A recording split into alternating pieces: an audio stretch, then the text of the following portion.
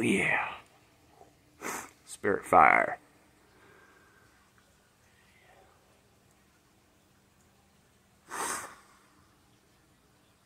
Nice. I love it. Let me get you switched around here. Alright, now I got us flipped back around. Got you set up on my little tripod thing. Anyways, today's video, what it's about is untangling chainsaw chains. I know when I first started, I used to have the awfulest trouble where it was. Couldn't ever figure it out. I'd get so frustrated that I'd hand it off to somebody else. But anyways, uh, old guy, old timer, showed me a little trick about it. It's actually pretty simple once you catch on to it. Alright, so anyways, I got a 20 inch full house steel chain. You can see it here. See the two loops. See how they are here? Get my big hands out of the way. See? See how they are? Okay, so what I want to do is, if you look real close right here, you can see how the chain is lapped. See that? Okay. Now, I'm going to flip it up to the other loop. It's on the opposite side. See that? This on, the ongoing part right here. So, it's real simple, man. All you got to do is, is whenever you, you grab this loop right here, you'll pull out. And you don't twist. You don't twist them. You just gently take it like it's right here, pull them apart. Now see that? And now it's created both loops down here. Okay?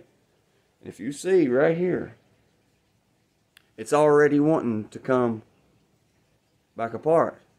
What happens is, what, what catches everybody is the teeth catches. Okay, so let me get real close here and show you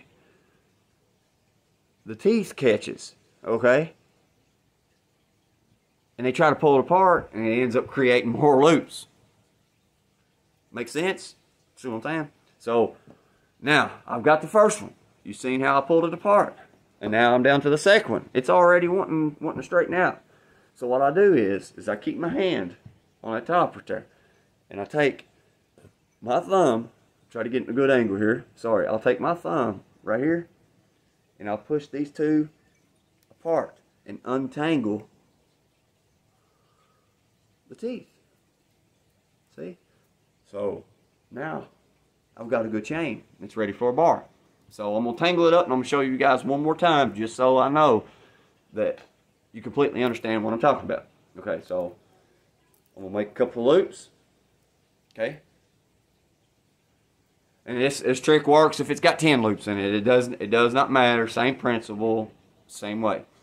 Okay, so you see how it's joined together? I'm just going to take, pull these apart, just like so. And that's what you end up with on the bottom. Okay, keep my hand on the top part.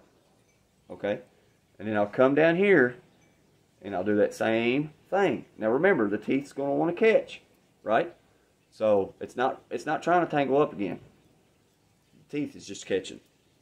All right. Look how easy. I mean, it's just that simple. Look, I'll put them back together. You'll understand the concept. Maybe this will help you a little bit better. Okay. So you've got that. See how it's wanting to create another one? See that? Right there. Now you got your loops back. Now flip it over. Same principle, don't matter. Right there where the teeth is catching. You pull them apart just like that. Now you got your loops down here. It looks crazy, looks like it's in a big old mess, but it's not. It's just catching. Right there, prime example. See right there? See right there where the teeth is catching? Look at it. I mean, it's that easy. All right, how about this? Let me put a couple of loops in it. Okay, so now we got we got two loops. Now we got four loops. See? Ooh, what a mess. What a mess. How in the world am I going to get that undone? Easy. Same principle. I'm going to take this. I'm going to pull it apart, just like so. That loop worked its way to the bottom. Keep my hand at the top. Probably can even give it a little shake, maybe. Boom. That one there. Well, you still got these loops. Oh, that's easy. All you got to do is, same principle. Go to the top, pull them apart, just like so. Your loop works its way to the bottom, just like that. Let it straighten out, untangle the teeth, bam. Got to be gentle, boys. You got to be gentle. That's it, man. It's it's it's that simple. All right. Uh, hopefully this helps somebody out, hopefully I didn't make it complicated. I don't know. I've got a tendency to do that. Just joke. Maybe I helped you guys. I hope. I hope somebody got some help from this. All right, one more time. Third time's charm. All right, we got the loops, right? Right. Take them. Cross them over.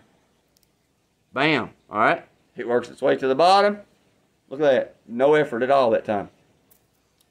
I mean, it's, it's, it's simple. This is a 20 inch chain. It don't matter what size chain. It's all the same principle for every one of them. Just remember, when it feels like it's in a bind or it feels like it's twisted up, because I've noticed like sometimes it feels like uh, somehow another the links got flipped around or, or something that's in a chain and it almost seems like it just can't be undone. But man, it's not. The teeth grab, catches it, and it makes it feel like it's in a bind, but it's not. See right there? Boom. They're stuck together. Boom. Pull them apart. Always works out. Always works out. But anyways, that's my how-to video on how to untangle a chainsaw chain. Hopefully that helps you guys out, man. Leave some comments down below if you got any more tricks. Feel free, man. I'm always uh I'm always open-eared, man, to suggestions. You know, you never can stop learning. Uh, please hit the subscribe button. It's right down there, and there's a little bell icon right beside it. Hit it for the the next videos. That way you guys can stay updated. And uh, yeah, man. And plus, hit that like, man. Help me grow my channel. Love you guys. Peace out.